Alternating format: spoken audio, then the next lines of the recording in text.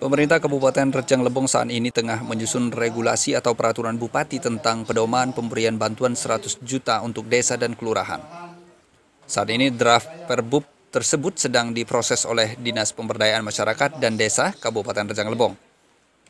Pelaksana harian Sekda Rejang Lebong Pranoto Majid Senin siang menjelaskan jika draft perbub sudah fit, maka tahapan selanjutnya akan diserahkan ke bagian hukum untuk kemudian dinaikkan ke Bupati Rejang Lebong.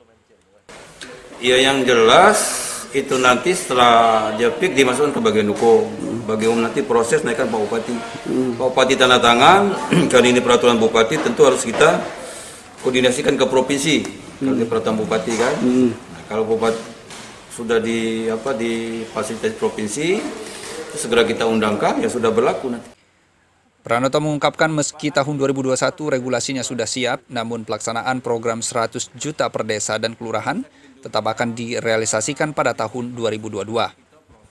Tinggal nanti kita tindak lanjutnya uh, anggaran itu untuk di 2022 sudah pasti. Kalau 2021 nggak akan terjadi. Hmm. Dan sama kawan-kawan juga, kebetulan sekarang lagi nyusun uh, eh, APBD untuk tahun anggaran 2022 itu sudah sudah masuk. Sudah Salah satunya bantuan 100 juta untuk desa kelurahan.